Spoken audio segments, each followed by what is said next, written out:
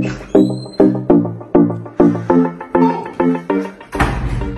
there, my name is Calibos, hmm? the only boss with one S. Happy new month to all of you. Welcome to a month of new possibilities. Do you know why life has been made so easy? It's because of Tap Tap Send. People, Tap Tap Send is here to make your life easy if you want to transfer money to Ghana. If you want to transfer from USA, if you want to transfer from UK, Europe, Canada, a lot of places all to Ghana. And guess what? When it comes to Ghana, there's no e-levy charge. So, what are you waiting for? Download TapTapSend on Google Play Store and App Store and be ready for exciting offers coming your way each time, every time on TapTapSend. Tap Tap Send. Send more, spend less.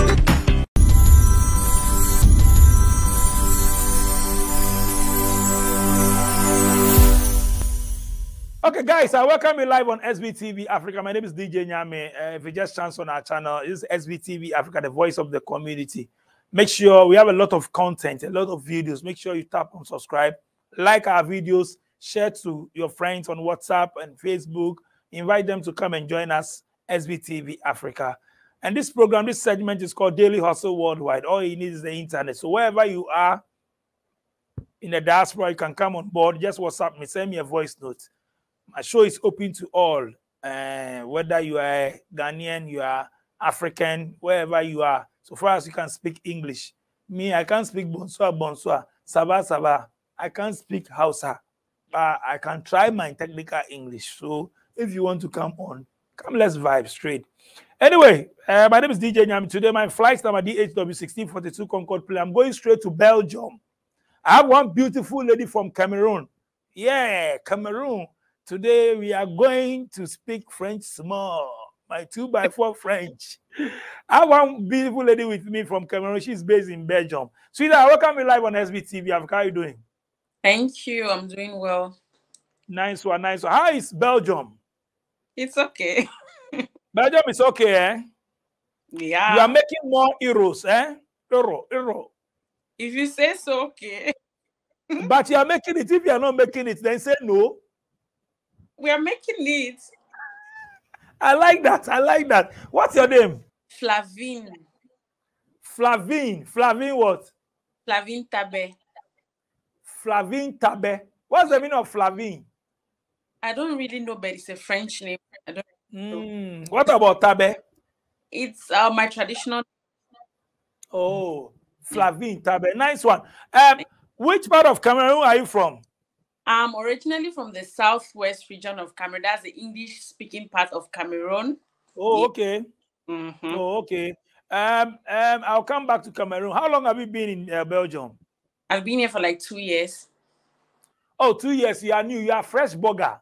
You know, I say fresh burger. You are new. I mean, two years. Okay. So, are you schooling there, or you are doing what? You working? I'm a student. You're a student. Oh, great. Yeah. We'll get to know more. Let's come back to Cameroon. I mean, two years ago, back in Cameroon, what were you doing? Um, in Cameroon, so I graduated with um a degree in communication, that's journalism and mass communication. Mm. Okay. Like every other country, you graduate and you know things are not moving the way that you expect, and some of the jobs that you get offered to or with are like, hmm, these ones can't really pay my bills. Because obviously when you graduate from the university, you are technically an adult. And you feel like it's time for me to also do something to help myself so that I'm not a burden to my parents or people around me. So um, I didn't really get jobs, and even if the ones that I saw were paying me like little, little like that money can't even suffice for my transportation for the month. So the young graduate um, frustration, I went online. I'm like, how to make money online and i saw youtube and they said you can make money on youtube so yeah with the fact that i could communicate effectively i did journalism and mass communication so talking in front of the camera won't be an issue for me so that was how i started my first youtube channel it's not really it's okay. not a channel that i'm known for now but it was basically on skincare because i suffer from some skincare issues so i was just sharing my knowledge with other girls that were suffering with their own acne issues. And yeah, that was how I was getting paid by Google. And I was making my money as a young graduate while living in Wow. in Wow, Zwa- that's fantastic. So that means you, you were using the internet wisely Yeah. and it was giving you money. yeah. So okay. now everything is online, right? But people too are online. Some people too don't know. They are just using the phone and be scrolling and be watching things. They are not Eh, making anything. from talking about skincare, I think I built a good community and then I started selling skincare products. So people watch me on YouTube, they trust me, and I think I was selling the black soap, the African black soap, and other products. So yeah, people were buying from all over the world. They see me on YouTube. We had people from America, Europe that were buying my products. And so yeah, that was how I was able to gather my money and travel abroad. Oh, so you got your money from uh, uh, AdSense, like YouTube and all that, before Yeah. you travel. You use that money to travel.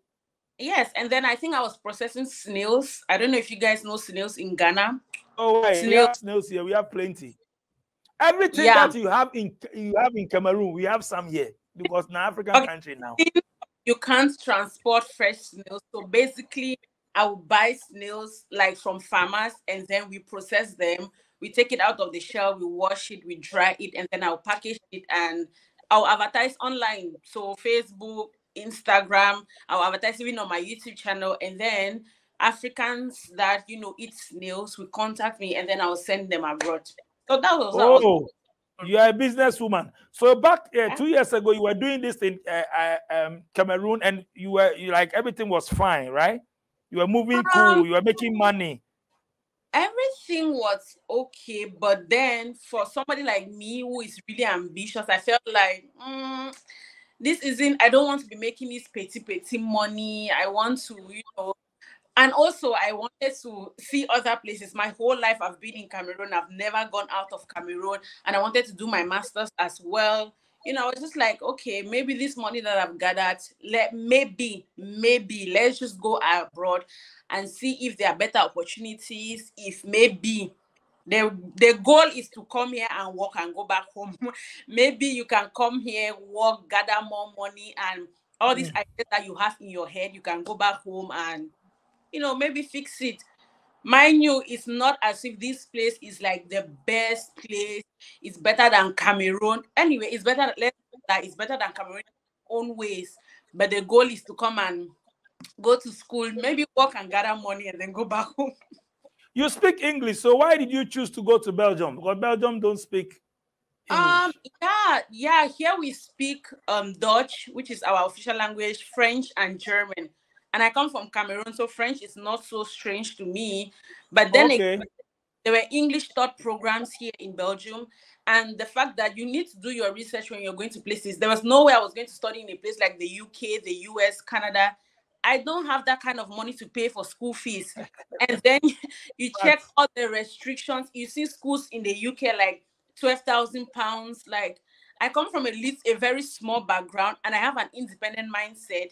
At my age, I didn't think that I wanted to stress anybody or stress my parents. So if I'm going abroad, I need to make sure that it's a place where I can pay my fees by myself, do everything by myself, that I don't need to call home. Please, so you people should send me money or something like that. So Belgium is quite, quite good for students, especially if you are alone. So my fees was like 4,000, which is still very expensive because there are people here paying fees for fees, um, fees for 900 euros. So my fees was still expensive as compared to every other person.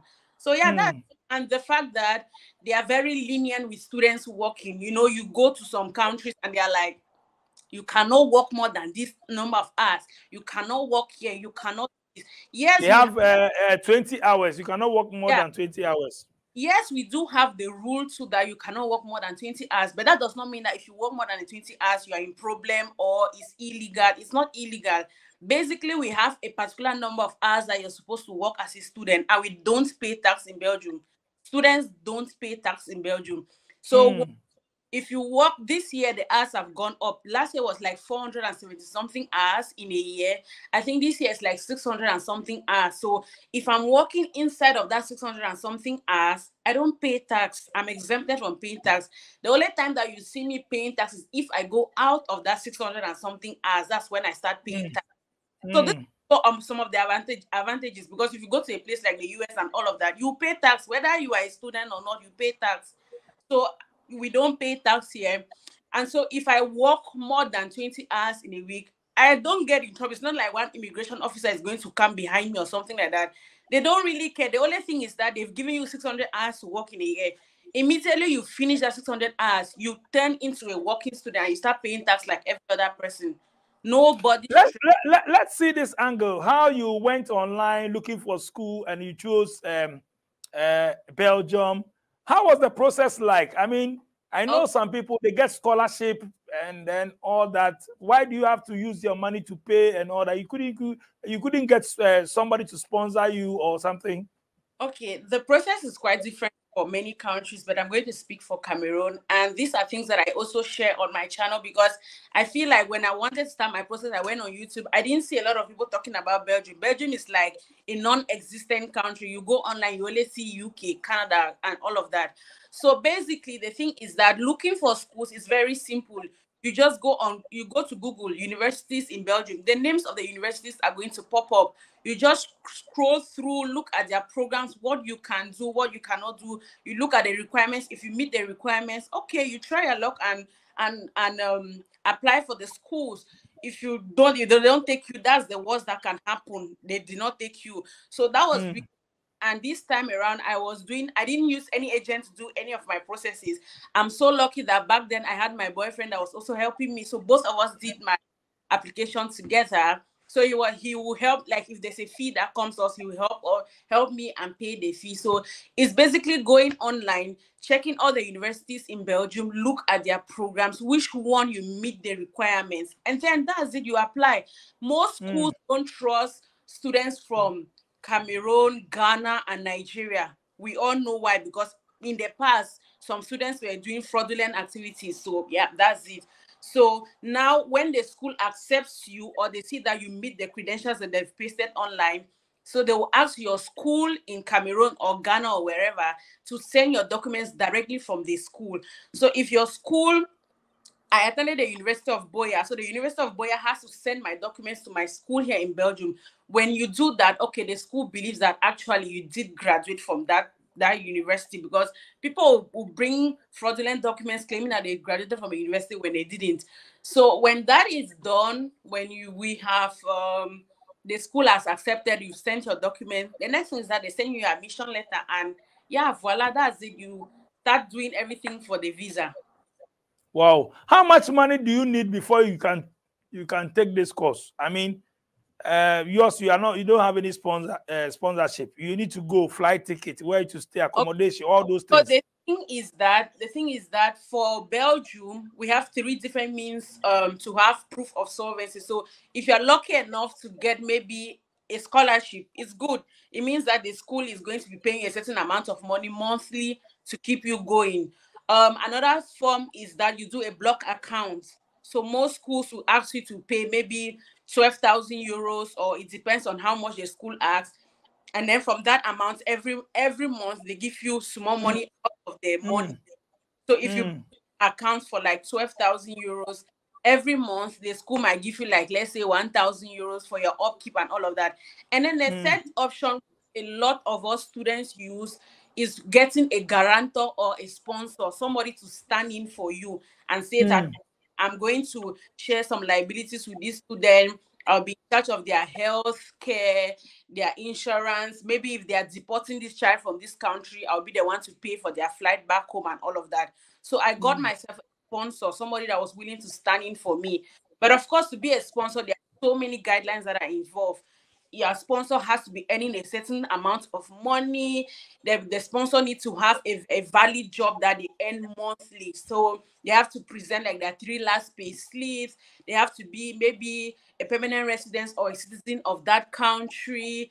This year, things have changed. You need to prove that you have a relationship with the sponsor. But the only good news is that if your sponsor is coming from Belgium or from any European Union member state, they don't have to show proof. But then if you want somebody like in the US, Canada to stand for you as a sponsor, you have to show proof that you are related to that person in some way. So I got myself a sponsor and yeah, I applied for my visa. So you're asking that how, how am I coping with pain? So lucky enough, my sponsor was kind enough to take me in when I just came to Belgium. So it's very important. Go to a place where you know, even if it's one person to take you in for like, even if it's one month, so that you understand the system. So they took me in. I understood the system. I started working. And yeah, from there, I went and looked for my own student room and I continued from there. So I work monthly I pay my bills, I pay my fees, and I'm good. wow. Accommodation. So are you are you on campus or you've rented your own place? I'm renting out of my school because okay. I live in the city where my school is located. Mm. My, my school is located in the capital city, which is Brussels. But I know after living with my sponsor for like anyway, the first one month I used it to just examine Brussels. Brussels is a very hot town, like every um, capital city. It is filled with a lot of people, people from everywhere, and it makes job opportunities very hard to get in Brussels. And knowing fully well that I'm going to be paying my my my rents, my school fees, I didn't want to go live in a place where I will not be able to get money. So I didn't live in Brussels, and the house rents in Brussels is like times two my own where I'm currently living. So I live in a city out of where my school is. I don't live in school, but then students can live in school. But then most times I don't even advise students to live in school, talking from personal experience because why? It's difficult to get jobs in Brussels. Student jobs. You will get jobs, but it will mostly be restaurant jobs, and they are a little bit strict with us. You cannot you cannot be versatile. You cannot work different shifts and all of that. It's like it's rigid. And I, the number one goal with me is I'm a hustler. I can't go to a place where I'll not be able to work. That's mm. it. And most students who live in Brussels and live in school, they have their parents paying everything for them. You know where you're coming from. You cannot go and compare with those students. You, you don't have anybody. You'll be hustler. Have anybody? Not that I don't have. But, but the money no day house now. You be also on your own. Only no day. Ah, yeah. I, I, didn't even ask of your your siblings. How many siblings do you have? Um, I have. I have four siblings. four siblings. So yeah. your mom and dad, mom and dad, are they still alive? Yeah, my mom is still alive. My dad is of late. Oh, sorry. Okay, so you are you are you are now uh, taking the lead to hustle to give them something back home now. Enough. I'm lucky that my parent, my mother is not even in Cameroon, so I'm not so bothered about my mother. This okay. this is basically maybe to reach out to any other family member, but then personally, my mom is not in Cameroon, so she's not much of a problem for me. My where is your mom now? She's in Canada. Oh, I see. I see. And my uh, sibling okay. Canada, so it's not like I have so much. Oh, okay, I understand. I understand. You are a beautiful lady, so tell us something about the guys. What's up with the guys? I mean, you're walking around, the guys will come around. You say your boyfriend help you to feel something, something. Are you still with him or now? Scaling, yeah. move on. No, we are still together. So I'm not in a perfect place to talk about relationships in Belgium. I don't know much about those things. And I, I barely have time on my own hands. It's mostly school, work, and mm-hmm. that's good. But but I mean, some of the guys will stop you too and say, "Oh, beautiful lady," they'll see you online, beautiful lady. Oh, you know, I want to be your girlfriend and all that. Yeah, they will, but then I'm in a relationship, so I'm not interested. And most times, it's hard to trust African men here in Belgium because a lot of people come here to hustle. Some of them have their wives and children back home, so ah you have to be careful. Oh. Yeah. Someone told you, or you have experienced it. I know that. I know. Are you a victim? If somebody approaches you and be like, "I like you," it's simple.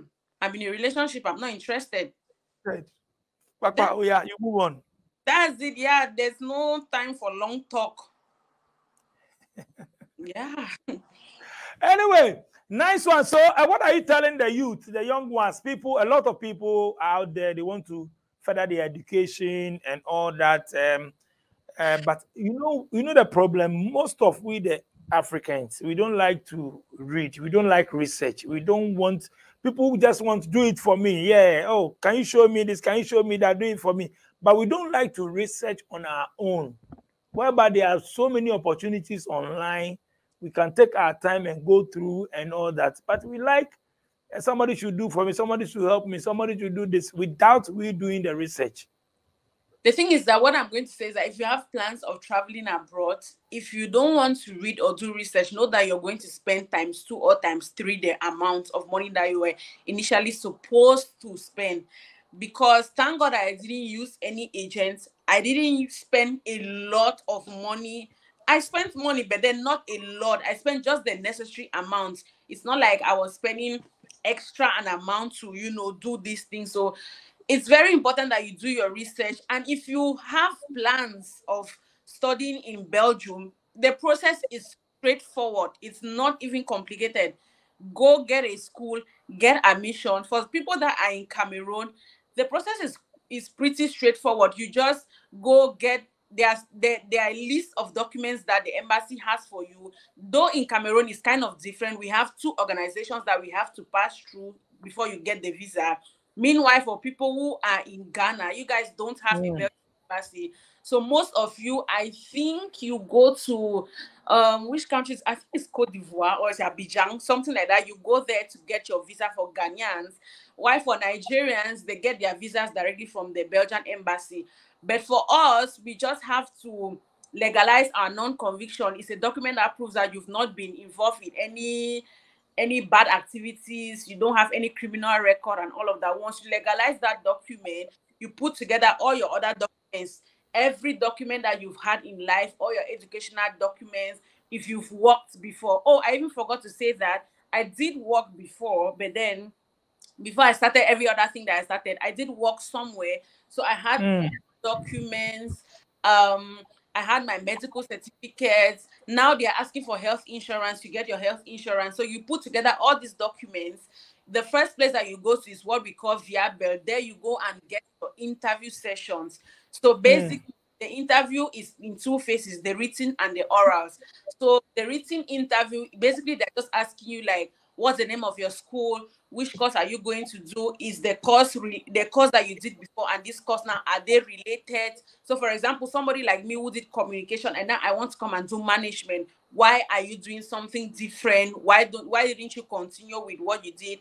Why are you choosing belgium? Why are you not going to germany us why belgium um with your sponsor or are you on sponsor uh, scholarship or are you using block accounts you know, they just ask you all those questions. How much is your sponsor earning?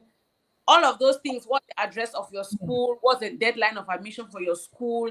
And after mm. that, you go and then have an or the oral interview with somebody. Basically, they just ask you the same questions again, and then somebody's typing it on the computer. After that, you go to TLS contact, and then you drop all your documents there and pay a visa fee, and you just sit and wait.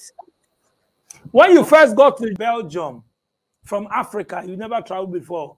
When you got down from the airport, what, what came in mind? It was cold, very cold. and then what? After seeing the places and all that, aside the weather, what else? After one month, I'm like, is this the Europe? Is this what? is this the place? What's so special about this place? It's not. It's well, not because when you've never traveled abroad, you think that Africa is the worst place on earth. It's not. I tell you, there are places you enter here and you be like, yeah, is this not a ghetto that I know from Cameroon? Like, it's not that special. It's a good place, yes, but there's nothing so special here. The is it like is it like is it like um those places they don't show on their TVs, they don't show on their screens, but we show all those things on our screens for them to see, and they think um, our ah, my, place is not nice and all that. If I carry my camera and go to the train stations in the capital in Brussels, you see a lot of people sleeping on the streets. There are homeless people sleeping on the street. There are junkies, people who are on drugs and all of that, sleeping on the streets. You will see them. There's a lot of cold here. People are out during the winter. You see those people that, people that are poor here, depending on the government. It's just that as compared to Africa, they have systems in place they don't have corruption like us. Yes, to a little level, there's corruption everywhere, but it's not as alarming as the one in Africa. nobody can terrorize you here. No, even if, especially if you're an immigrant and you are here legally, nobody can just wake up and terrorize me just because I'm not a Belgian. You see, these are the Mm. different. Here, then here in Belgium, I like them because the gap between the rich and the poor is very slim. You don't, you don't. They have systems in place to make sure that some people are not getting more money more than others. So I just feel like their system is more in place as compared to Africa. And yes, if, as when it comes to infrastructure, yeah, infrastructure is good and all of that, which I think is something that we should improve in Africa. There are systems you cannot just come and build anyhow. You cannot just sell on the road. You know, things that we we we suffer from in Africa and all of that. There's no corruption, there's no nepotism. Yes, we may say that there's racism and all of that, but then I came here with an open mind. I know what I want. If you want to be racist towards me, I just see you like somebody who doesn't have sense and I move on and Mm. I go in and Mm.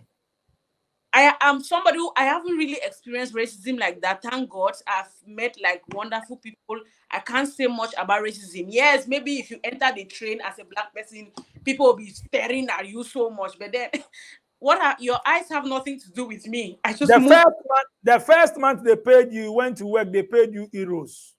yeah. What did he say? After seeing the money, what did he say? I was proud. I'm like, hmm, you're working your money. I was proud of the money. and I was happy. It was a good amount. Eh, it was good amount, eh? yeah. I was like, hmm, this is money. Let's talk about cost of living there. Working, uh, you pay your bills and all that. I mean, uh, the money that you make, school, job money, rent, you still keep Okay. some. Um, you can keep some. The truth is that if I, and this boils down to lifestyle too. If you are extravagant, you're going to face problems. If you are trying to live minimal, you're just trying to be normal and all of that. You are Mm. be okay. Normally, like everywhere, even if it's Ghana or where you need to walk in order for you to survive. If you come here and you don't want to walk, you will not survive. You find it difficult. But if you walk, you will be okay. You may not be the richest person, but you're just going to be okay. You're going to have enough that you will not have to ask anybody money back home. That's what I know. If you come here and you work, you will not have to ask anybody any money. And if you come here those first few months and you're doing like this, eh, I'm not doing this one, or I'm not doing this one, you're it's very difficult for us to just come and have good jobs. It's very hard. You need to come with a, an open mind. Whether they're asking me to work in a restaurant, I'll work. Whether they're asking me to go clean anywhere, I'll clean. And while you're doing it now, and then you're looking for better prospects out there, you may not. It's very difficult, especially as an African. They don't even trust our experience and our systems back home. So you need to come here and prove yourself. So if you come and just say, no, I'm not doing that thing. I'm, I want to work by in one office. I want to work by in the European Union office. Okay, now. Have you met any uh, African in your school? Yeah, there are many Africans in, There are many, eh? From Ghana and Cameroon too, as well. from Ghana, Nigeria, anyway, Cameroon, yes. Anyway, from many French-speaking countries, you will see a lot of them, like Congo. Anyway, Belgium was a colonial master of Congo, so you will see more Congolese people here. You will see, yeah, people from Cameroon because we speak French, but there are many Ghan- there are Ghanaians. So, so you don't you don't miss home then because you see your people. I mean, No, you always miss home. There's no place like home. Never, never. so after school, are you looking back to go back home, as you are saying?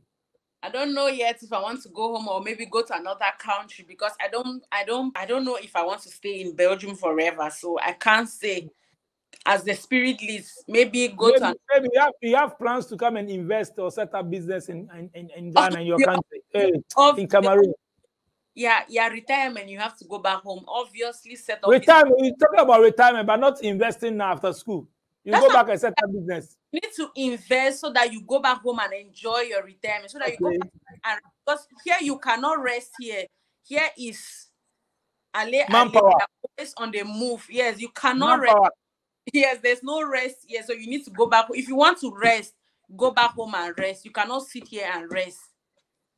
Thank you so much, Flavine. Uh, what's the uh, social media handle and all that? Okay. Your channel and all that. My channel name is Lavin Tabela. Flavin Tabe. Okay. And other social media handles. Uh, my social medias are same like this name. So for my Instagram is um at Flavin underscore Tabe. My TikTok is still Flavin Tabe with small letters. So it's still this name. Flavin Tabe. Yeah. Okay. Nice talking to me us on SVTV Africa. Thank you so much, uh, Flavin Tabe. Thank you so much. When I come to Belgium, I'll look for you, okay? I'll give a personal tour. Ah, you give me a personal tour. Now Yeah. you are Belgian ambassador for uh, Cameroon, Belgium ambassador. no, no.